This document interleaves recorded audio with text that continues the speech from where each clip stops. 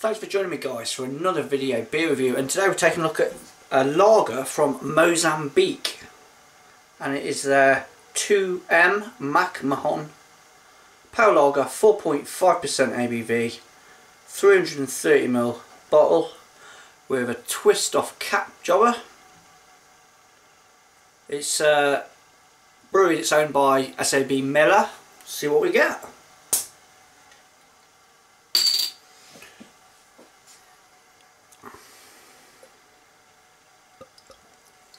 Now you'll probably struggle to get hold of this, but if you go to a Nando's, they sell it in there.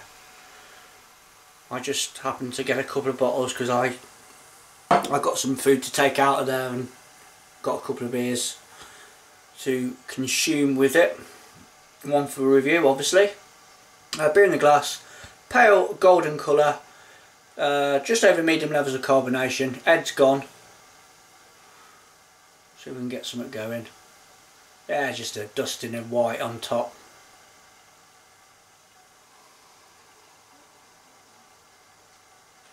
Uh, sweet. Bready, you've got it's got that adjunct feel to it. It's corn. Or rice or something along them lines. Starving. Cheers.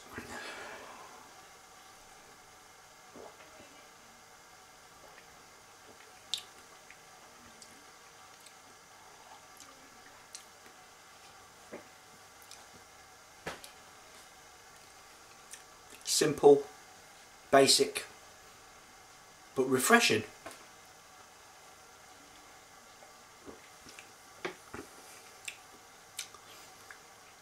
You do get that corn syrup sort of mouthfeel to it.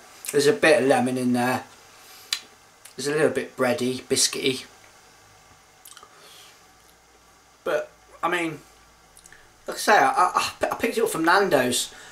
Perfect sort of food to have with a beer like this, to be honest. You got really, really spicy hot chicken, whether it be, you know, on the bone or in a burger or whatever. Perfect beer to have with it.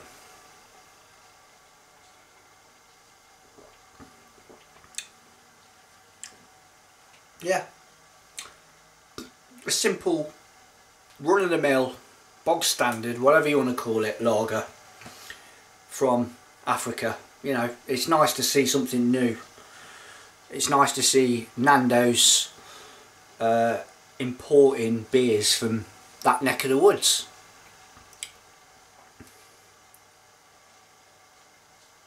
Mm no complaints with it guys. I mean it's not you know jumping about saying it's the best lager in the world or anything like that. You know a million one others probably taste exactly the same but it's a new beer. I don't mind it. 2M Mac Mahon and this is a Mozambique lager. There you go guys. See you on my next one. Cheers